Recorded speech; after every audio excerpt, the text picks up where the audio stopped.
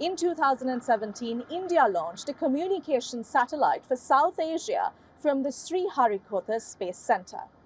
The satellite, funded entirely by India, aimed at helping regional countries like Sri Lanka, the Maldives, Bangladesh, Nepal, and Bhutan to boost their telecommunication and broadcasting services. But Pakistan opted out of the initiative.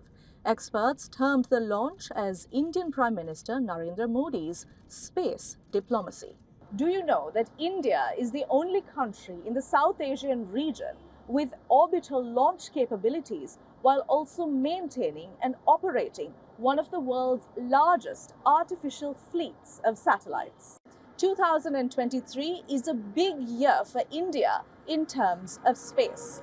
Let's now take a look at the latest news from the Indian Space Agency. 10, 9, 8, 7, 6, 5, 4, 3, 2, 1, 0. Geosynchronous Satellite Launch Vehicle F-12 or GSLV F-12 lifts off from India's most prolific spaceport Sriharikota in Andhra Pradesh. The fourth launch for the Indian Space Research Organization. Another feather in a much decorated cap. We are coming to you at a time when the liftoff of GSLV, India's tallest rocket, this is the 420 ton rocket, almost 51 meters tall. This vehicle is uh, lifting off as we speak from the second launch pad of Satish Dhawan Space Center. So, this is a vehicle that's carrying NVS 01, a second generation navigation satellite of India. So, NVS 01 weighs 2232 kilograms. This is a satellite uh, that is actually meant to help India for navigation related purposes, navigation, timing and positioning. NVS 01 as we speak is being taken to what is known as a geosynchronous transfer orbit. Weighing about 2,232 kilograms, NVS-01 is the first of the second generation satellites intended for the navigation with Indian constellation services. The navigation satellite has been put into the geosynchronous transfer orbit. A geosynchronous transfer orbit is a special position high above the Earth that allows an object to keep pace with the rotation of the Earth. Drifting to the north and south, a satellite in a geosynchronous orbit would, for the most part, appear to be in a fixed position in the sky. For the first time ever, the NVS 01 will carry an atomic clock on board. Us about NVS 01 and how it gives a significant boost to India's navigation and indigenous capabilities in position and timing. say for a nation like us, such a huge nation, such a large number of people using uh, more digitally oriented com- you know, community, it is important to provide PNT services, positioning, navigation, and timing services. And there is a business community which requires timing services and positioning services, fleet management, business business uh, activities of even food delivery and uh, so, so on and so forth.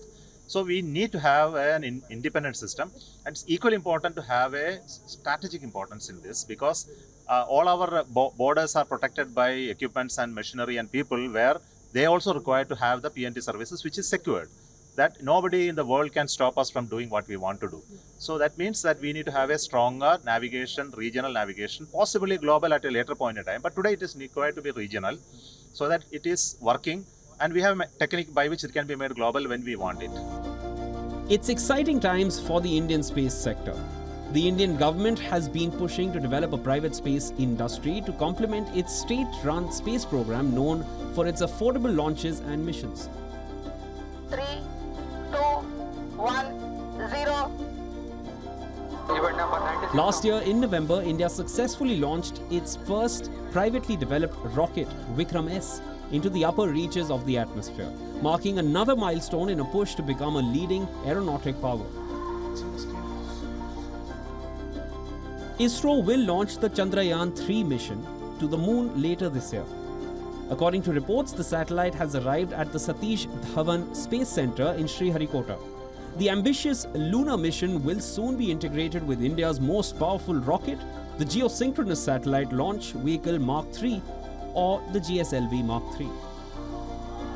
After the success of Chandrayaan 1, India launched second lunar exploration mission Chandrayaan 2 in 2019.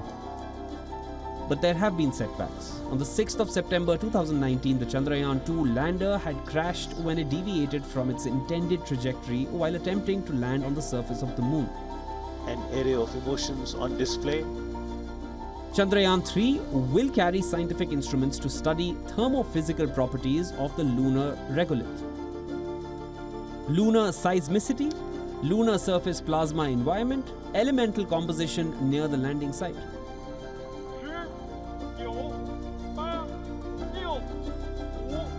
Announcement of the Chandrayaan 3 July launch comes at a time when China sent three astronauts to its Tiangong space station, putting a Chinese civilian into orbit for the first time. Beijing is also planning to send a crewed mission to the moon by the end of the decade. This year, ISRO is also set to test Gaganyaan crew module mission. The first crewed flight of Gaganyaan will carry three Indian astronauts on a short orbital test flight, and the mission planned for the end of 2024. It's been more than 50 years since ISRO was founded, from the time when parts of rockets were carried on a bicycle or a bullock cart for initial space experiments to the first Indian astronaut in space.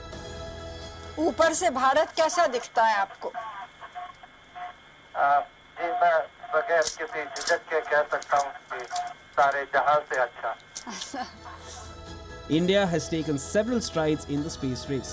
Chandrayaan 3 and Gaganyaan hold out new momentum and victories.